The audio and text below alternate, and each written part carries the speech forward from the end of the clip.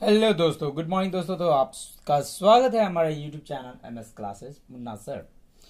तो आज हम पढ़ेंगे क्लास एट का चैप्टर वन राजनीतिक विज्ञान का। मतलब राजनीतिक विज्ञान से चैप्टर वन हम लोग पढ़ेंगे पॉलिटिकल साइंस नागरिक शास्त्र का है सिविक्स का ही इसका चैप्टर वन हम पढ़ेंगे, जिस चैप्टर का नाम है, भारतीय संविधान। भारतीय संविधान में हम बहुत चीज़ पढ़ेंगे, संविधान क्या है? संविधान का निर्माण क्यों हुआ? किस लिए हुआ? ये सब चीज़ हम पढ़ेंगे। इसलिए आप एकदम वेट कीजिए और वेट क्या कीजिए? मतलब कि थोड़ा एंजॉय कीजिए। और हाँ चैनल को सब्सक्राइब नहीं किया तो प्लीज़ सब्सक्राइब तो ज़रूर कर दीजिए। चलिए अब आते हैं हम अपने टॉपिक पे। पहला जो हमारा टॉपिक है, संविधान क्या और क्यों? कि मतलब संविधान क्या है और क्यों है? या किस लिए बना है? इसका उपयोग क्या है? ये सब चीज़ हम लोग इस टॉपिक में पढ़ेंगे। देखिए, अब पढ़ना शुरू करते हैं। क्या आपने कभी अपने विद्यालय के बारे में सोचा है? आप शायद यही सोच रहे होंगे कि भला इसमें सोचने वाली क्या बात है? विद्यालय में हम पढ़ने के लिए आते हैं। इसमें एक प्रधान अध्यापक एवं कई अध्यापक अध्यापिकाएँ होते हैं, जो अलग अलग विषय पढ़ाते हैं। ये बातें जो शायद आपको साधारण सी लग लगती हो, परंतु उतनी साधारण है नहीं।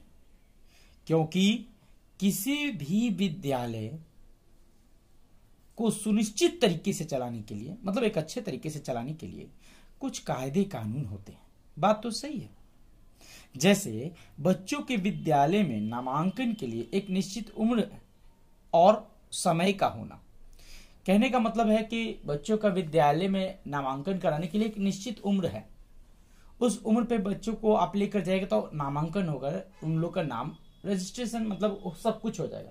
अब मान लीजिए कोई बच्चा डेढ़ साल का है, दो साल का है, अब वो बोलना शुरू कर दिया, दो ही साल का बच्चा है, बोलना शुरू कर दिया, डेढ़ साल का बच्चा है, बोलना शुरू कर दिया, वो सब चीज़ बोल रहा है। आप उसे ले जाके प्ले स्कूल में लिखवा सकते हैं क्या? नहीं।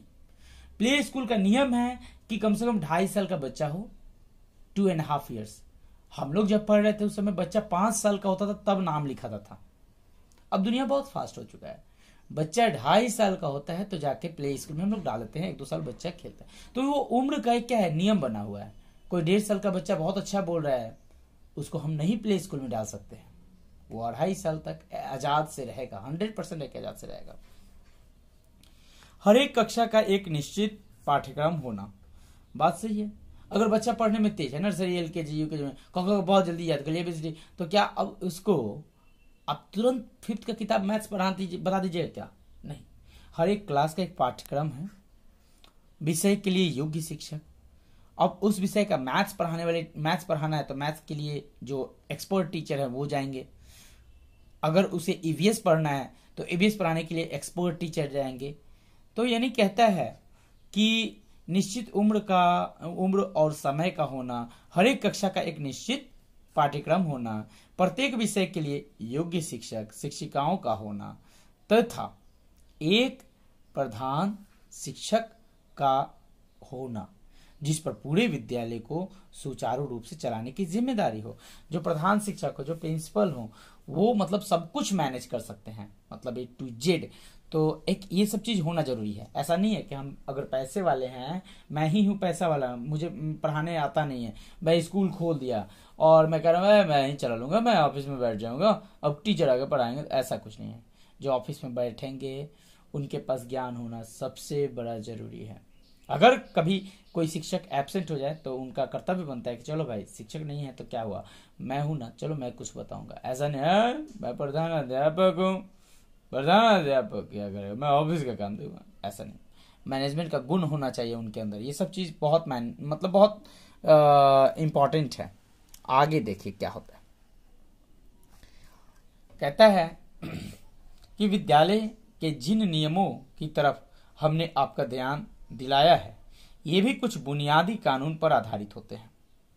इन बुनियादी कानूनों को ध्यान में रखकर ही अन्य नियम और कानून बनाए जाते हैं। जैसे, शिक्षा का अधिकार अधिनियम 2009 तो शिक्षा का अधिकार अधिनियम कब का है? 2009 का है। क्या है? कब का है? 2009 का। तो एक बुनियादी कानून है। शिक्षा का अधिकार अधिनियम 2009 एक क्या है? एक बुनियादी कानून है, जिसके आधार पर विद्यालयों के बारे में कई नियम बनाए गए हैं। जैसे 6 से 14 वर्ष के लड़के, लड़कियों को किसी भी विद्यालय में प्रवेश देने से मना नहीं किया जा सकता है। कब से कब तक? 6 से 14 वर्ष के विद्या, चौदह वर्ष के बच्चों को। मतलब कि लड़के हो या लड़की, अगर 6 से 14 के बीच का है तो किसी विद्यालय में प्रवेश देने से मना नहीं किया जा सकता। प्रत्येक तीन किलोमीटर के दायरे में कक्षा आठ तक की पढ़ाई हेतु सरकारी स्कूल का होना आवश्यक है। कक्षा एक से पाँच तक के विद्यालयों में छात्र और शिक्षक का अनुपात तीस अनुपात एक होना चाहिए। छात्र और शिक्षा का अनुपात तीस अनुपात एक मतलब तीस स्टूडेंट पर एक टीचर का होना ज़रूरी ये एक रेशियो होता है। ये भी नियम ही है। क्या कह रहा है? नियम है कि छह से चौदह वर्ष के लड़के लड़कियों को किसी भी विद्यालय में प्रवेश देने से मना नहीं किया जा सकता, पहला नियम। दूसरा है कि प्रत्येक तीन किलोमीटर के दायरे पर मतलब आपका जो घर है, वहाँ से तीन किलोमीटर दायरा के अंदर, कक्षा आठ तक की पढ़ाई हेतु तो सरकारी स्कूल का होना एकदम आवश्यक है। हर जगह हर एक तीन किलोमीटर पर एक सरकारी स्कूल होना ज़रूरी है, ये होना ही चाहिए। कक्षा एक से पाँच तक के विद्यालयों में छात्र और शिक्षक मतलब एक से पाँच तक के विद्यालयों में छात्र और शिक्षक का अनुपात तीस अनुपात एक होना चाहिए। ये चीज़ हो गया। आगे देखिए क्या है। आप अपने विद्यालय में जिन नियमों का पालन करते हैं, उनकी एक सूची और तैयार कीजिए। उनकी एक सूची तैयार कीजिए। तो देखिए भाई, आप विद्यालय जाते हैं, उसमें कौन कौन सा नियम है, ये सब नियम आपके दिमाग में अभी चल भी रहा होगा। उन सब का एक लिस्ट बना लीजिए कि हाँ मैं विद्यालय में जाता हूँ तो मैं सबसे पहले तो हम लोग घूमते मतलब एक स्कूल में इन किए तो थोड़ा बहुत घूमेंगे, उसको प्रार्थना होगा, फिर पहला घंटी होगा, पहला घंटे में ये सर आएँगे, वो, ये सब आप जानते हैं, ये सब आप ही लिखिएगा। अगला पॉइंट है कि आपकी शिक्षक क्या आपकी शिक्षिका विद्यालय में किन नियमों का पालन करती हैं, उनसे चर्चा कीजिए। ये तो आप खुद कीजिएगा। अब जाकर अपने सर से या मैम से पूछिएगा कि, मैम, आपके लिए क्या नियम? तो उनका यही नियम है कि टाइम से वो आए पढ़ाने के लिए। मतलब प्रार्थना जब जो होता है, प्रेयर जो होता है, प्रेयर के पहले आ जाए, प्रेयर के समय आ जाए। मतलब कि पहले आए। अब ये नहीं कि फ़र्स्ट सीटिंग जो फ़र्स्ट टाइम है फ़र्स्ट पीरियड है नौ बजे तो वो रोज आ रही है दस बजे। अच्छा आई तो एक ही बार प्रार्थना उतना हो गया, ग्यारह बजे आई, ऊन स्वेटर लेते आई, बैठ के बीन रही हैं, चलो थोड़ा ऊन का ये स्वेटर बीन लेते हैं, स्वेटर बीन के काम चला लेते हैं, ऐसा कुछ नहीं होना चाहिए। अब ये नहीं कि सर आए, हाजिरिया बना दिए, चले गए खेत में, अब भाई थोड़ा पानी पटा लेते हैं, ऐसा कुछ नहीं होना चाहिए। अच्छा लगे सी आर क्रो क्रो मतलब कौवा चिल्लाने, डब्लू भुला ही गए हैं तो ये सब नहीं होना चाहिए। जरा सोच के बताइए कि आपके विद्यालय के प्रधान अध्यापक को विद्यालय चलाने के लिए किन किन समस्याओं का सामना करना पड़ता है। तो उनको बहुत समस्याओं का सामना करना पड़ता है, क्योंकि वो प्रधान अध्यापक है। वो सबसे ऊपर है, सर्वोपरि। सबसे पहले तो उन्हीं को आना पड़ेगा। क्लास में, स्कूल में सबसे पहले उन्हीं को आना पड़ेगा। अगर सब टीचर लोग का टाइम है नौ बजे आने का तो वो पहले आठ बजे आ जाएँ। आठ बजे आठ बजे नहीं है तो कम से कम साढ़े आठ बजे तो ज़रूर आ जाएँ ताकि वो अपना सारा प्लान तैयार कर ले कि हाँ भाई आ, मुझे फ़र्स्ट क्लास में क्या कर, काम करवाना है सेकंड क्लास में क्या काम करवाना है। मतलब एक रूटीन अपना आके आधा घंटे में बना ले। स्कूल में क्या क्या सही हो चुका है कहाँ गड़बड़ी है कहाँ पे सफ़ाई नहीं हो ये सब ध्यान तो देना ही पड़ेगा देखना ही पड़ेगा। चलिए आगे हम बढ़ते हैं।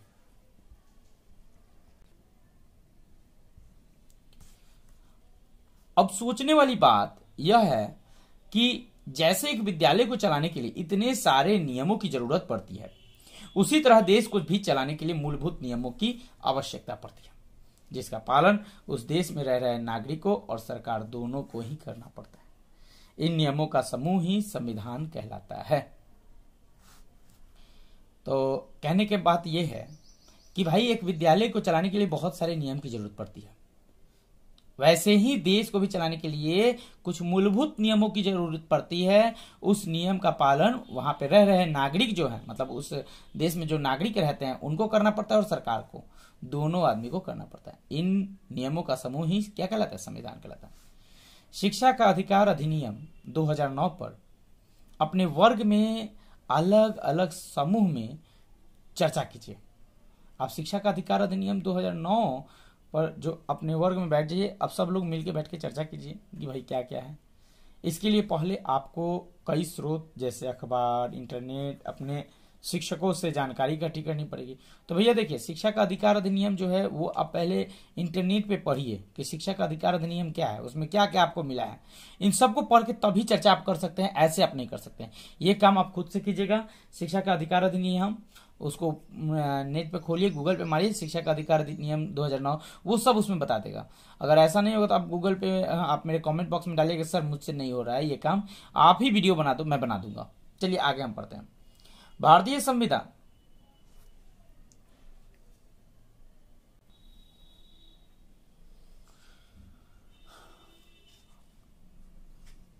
भारतीय संविधान अंग्रेज़ी हुकूमत के खिलाफ लंबे संघर्ष एवं अन्य देशों के संविधानों के अनुभवों का नतीजा है।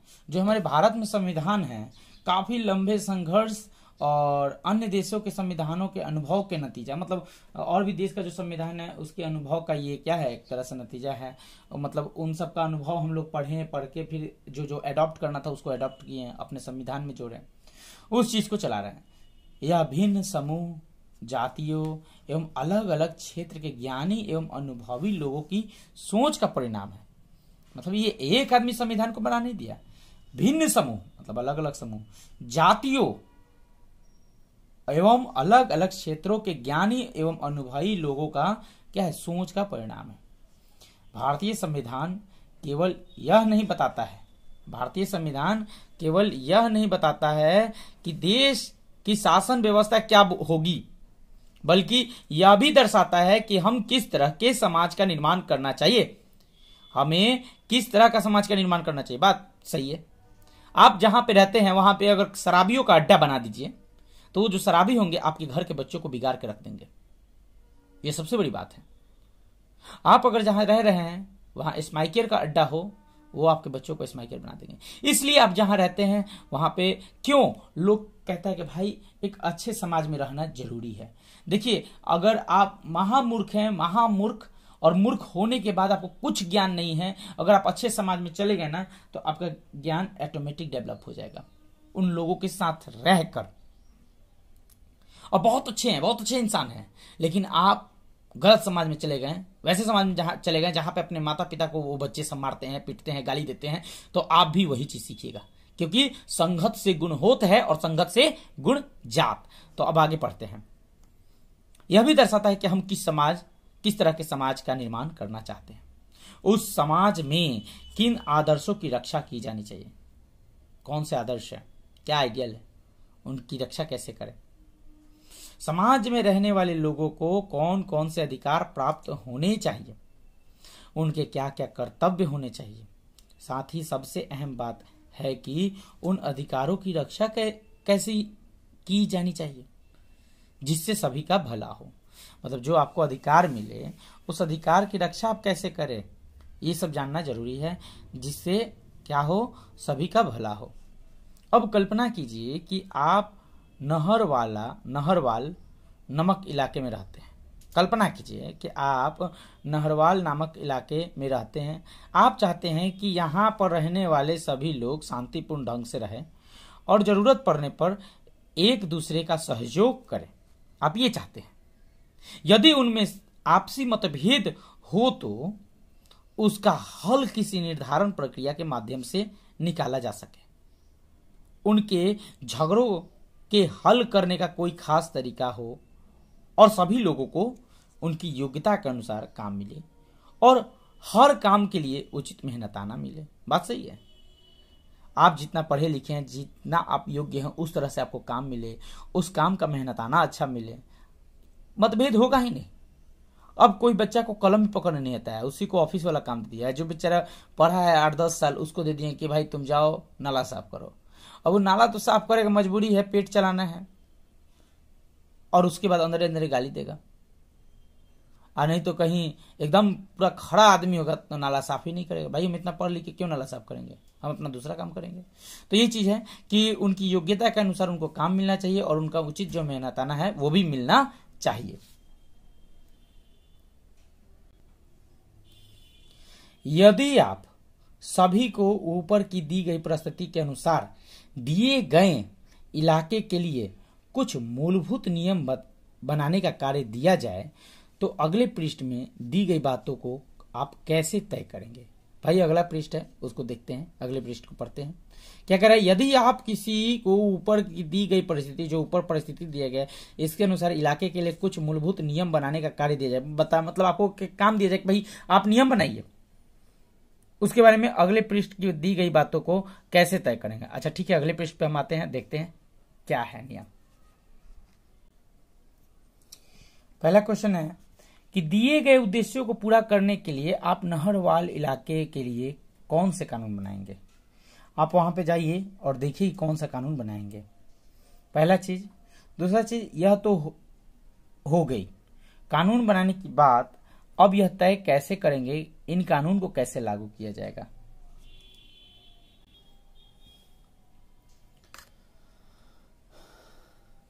यह हमारा पहला क्वेश्चन था। कि दिए गए उद्देश्य को पूरा करने के लिए आप नहरवाल इलाके के लिए कौन कौन से कानून बनाएँगे? तो भाई, नहरवाल इलाके में आप कौन कौन सा कानून बनाएँगे? सबसे पहले तो ये ये आप सोचिए कि नहरवाल इलाके में आप किस प्रकार का कानून बनाएँगे? किस लिए बनाएँगे? आप चैप्टर पढ़े होंगे तो पता होगा, नहीं पढ़े हैं तो वीडियो को बैक कीजिए, आगे थोड़ा थोड़ा सा पॉज की, करके पीछे जाइए, आपको सब मैं बताया हूँ इस वीडियो में, उसे ज़रूर एक बार सुनिए। तो नहरवाल इलाका जो है, उस इलाके में एक शांतिपूर्ण लोग रहे, इसके लिए कानून बनाना है। ज़रूरत पड़ने पर एक दूसरे का लोग वहाँ का सहयोग करे, इसके लिए कानून बनाना है। तो उसके लिए कानून कैसे बनेगा? सबसे पहले ये एक पंचायत होनी चाहिए कि भाई, अगर नहरवाल इलाके में जो भी कोई समस्या होगी, वो लोग पंचायत में जाके कहेंगे और पंचायत उस समस्या को सुलझाएगी। उसके बाद एक नागरिक समिति होनी चाहिए। नागरिक समिति में नागरिक समिति जो है, वो क्या करेगी? लोगों के आचरण पर नज़र रखेगी। लोग क्या क्या कर रहे हैं, उनका आचरण कैसा इन सब पे ध्यान देगी। शराब या कोई भी नशीला पदार्थ लोग, अगर लोग पीकर इधर उधर सड़क पर घूम रहे हैं, उसके लिए उसे खुलेआम सड़कों पर घूमने से रोक लगाएगी, उनके, उनको दंडित करेगी और उन्हें पुलिस के हवाले कर देगी, ताकि लोगों को कई समस्या ना हो। होता क्या कि शराब जब लोग पी लेते हैं ना तो बीते बीते इतिहास को याद कर लेते हैं, शराब पीने के बाद। उनको याद हो जाता है कि हमको फलटुआ मारा, लबडुआ मारा, छिलटुआ मारा, हम भी मारेंगे फलटुआ को, छिलटुआ को, लबडुआ को। अब वो बेचारा शराब पीने के झोंक में फलटू, लबडू चिल्टू सबसे पिटाई कर लेता है, सबसे झगड़ा कर लेता है। अब बेचारे तीनों के तीनों मिलकर उसको पीट देते हैं। तो अगर कोई शराब खुलेआम में पी रहा है सड़क वो सड़क पे पी रहा है, चाहे घर के बाहर पी रहा है, बच्चों के सामने पी रहा है, उनको डांटना पड़ेगा, उन्हें रोकना पड़ेगा कि भैया, बच्चों के सामने मत पीजिए। देखिए, होता क्या कि बच्चा तो नकल करता है। आप अगर शराब पीजिएगा, आप अगर गांजा पीजिएगा, आप अगर कुछ भी नशा कर रहे हैं और बच्चा वहाँ पे छोटा सा बैठा हुआ है तो वो बच्चा उसको देखेगा, बहुत अच्छे से देखेगा, बहुत अच्छे से, और कॉपी कर लेगा, नकल कर लेगा। वो भी लुका कर पिएगा मतलब छिप छिप कर पहले पिएगा। छिप छिप के पीने के बाद थोड़ा सा दिखाएगा, थोड़ा सा दिखाएगा, उसके बाद पूरा लाइसेंस आपसे ले लेगा। आप उसके बाद कुछ नहीं कर सकते। चाहे आप कितना भी डंटा से पीटिए, वो तो शराब पिएगा ही पिएगा। तो ये सब चीज़ बहुत ज़रूरी है कि हम बच्चों के सामने ये सब ना पिए। और चाहे पी लिए तो बच्चों के सामने ना हो। बच्चों को ये अनुभव ना हो कि हमने शराब पिया है, चाहे कुछ भी। दूसरा बात, अगर किसी परिवार में कोई दुर्घटना हो जाता है, दुर्घटना होने के बाद एक ऐसी समिति, नागरिक समिति होनी चाहिए कि वो परिवार उस नागरिक समिति में जाके अपनी गुहार लगाए, अपना बात बोले और नागरिक समिति मिल के गाँव से या वहाँ पे जो रह रहे हैं, नागरिक जो है, उन लोगों से चंदा वसूले, वसूल कर उनको दे। जैसे कहने का बात है कि मान लीजिए कोई ऐसा गाँव, ऐसा घर है जहाँ पे सबके सब गरीब हैं, उसके पिताजी नहीं है, माँ है, बेटी है। अब उस बेटी की शादी करनी है तो माँ कहाँ से करेगी? तो अगर नागरिक समिति है, अगर वहाँ पे एक लोगों में एकता है तो ये नागरिक समिति सभी लोगों से कुछ कुछ रुपए चंदा के रूप में लेगी और उस बच्ची की शादी हो जाएगी। हम तो कहते हैं कि हर बच्ची की शादी में कुछ ना कुछ सहयोग करना चाहिए। ओके, अगला पॉइंट देखते हैं। तो ये हम दोनों का जो है ये का, मतलब बता दिए। उसके बाद कहता है यह तो हो गई कानून बनाने की बात।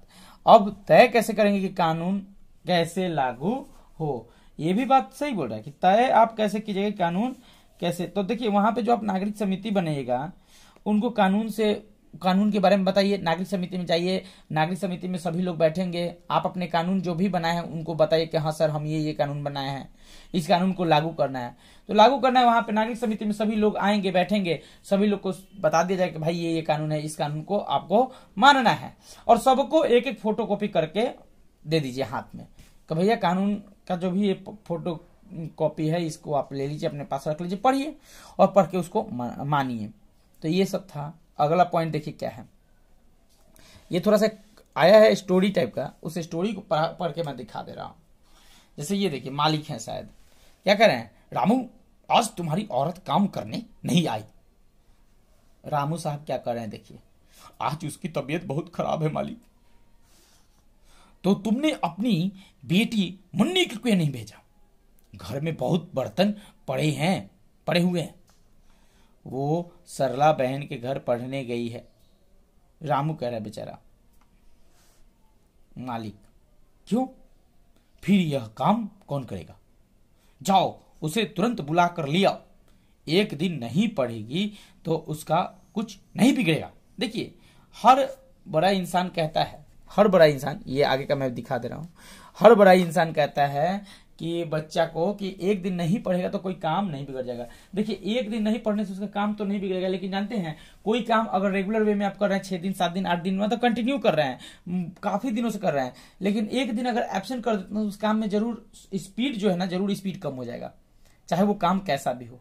अगर मैं ही रोज पढ़ाता हूँ तो पढ़ाने का काम रोज कर रहा हूँ, अगर मैं दस दिन ना पढ़ाऊ ना तो मेरी मतलब की स्थिति, मेरी जो पढ़ाने का जो स्पीड है, वो थोड़ा स्लो हो जाएगा।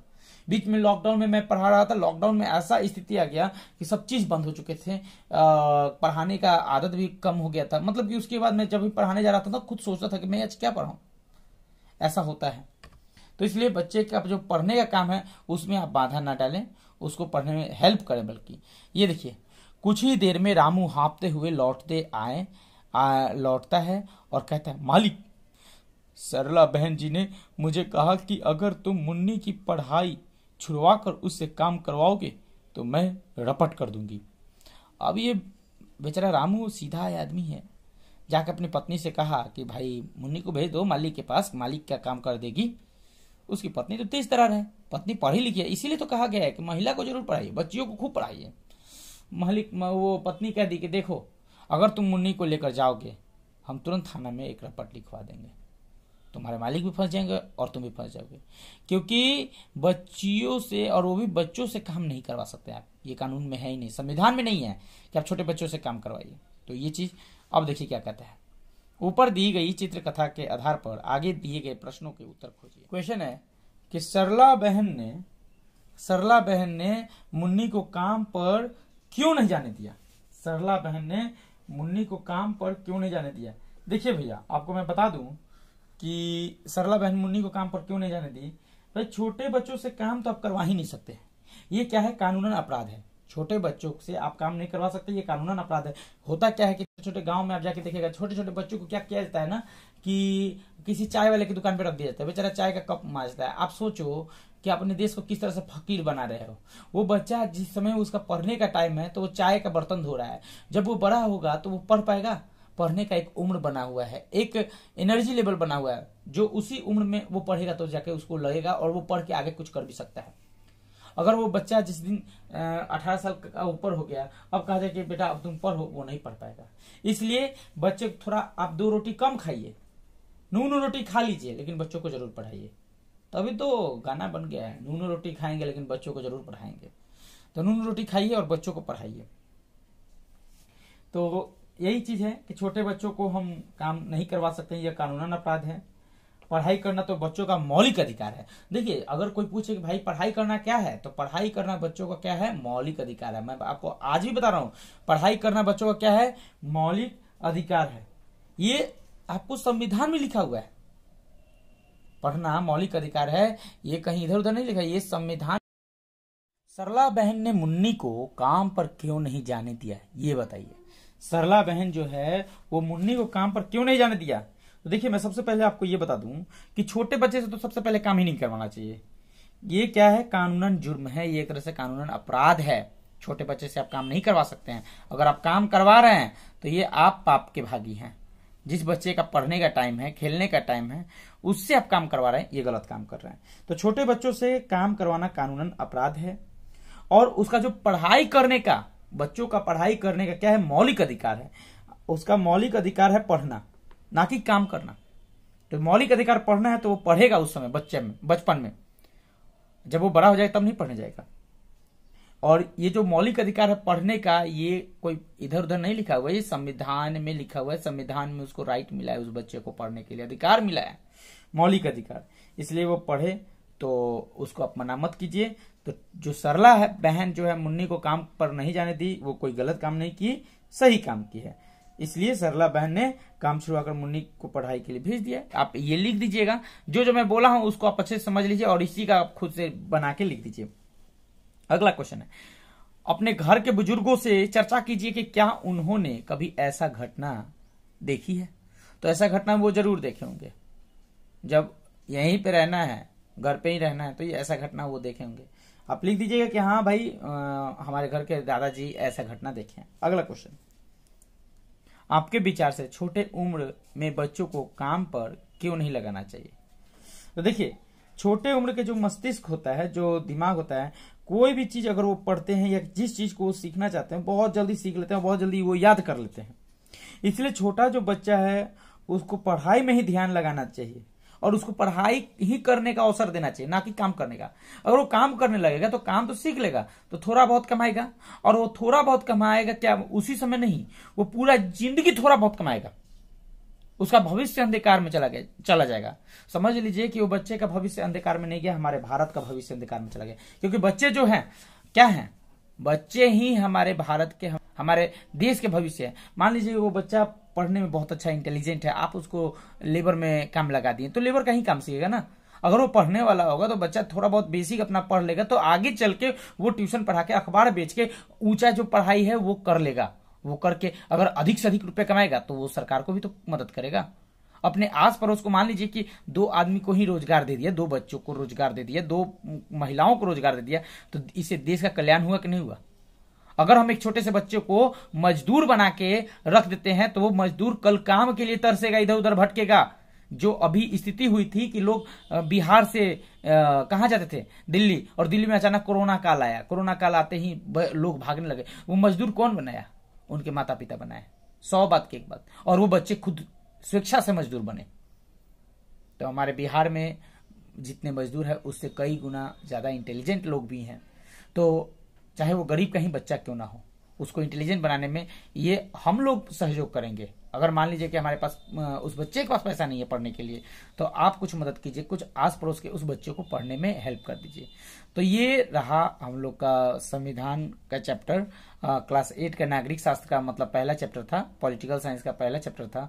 इसमें हमारा पार्ट वन ये वीडियो वीडियो बहुत बड़ा हो गया, इसलिए हम इतने पे ही रोकते हैं। और हाँ चैनल पे नए हैं, आप सब्सक्राइब नहीं किए प्लीज़ सब्सक्राइब कर दीजिए। अगला वीडियो फिर हमारा आएगा बहुत जल्दी। Bye good bye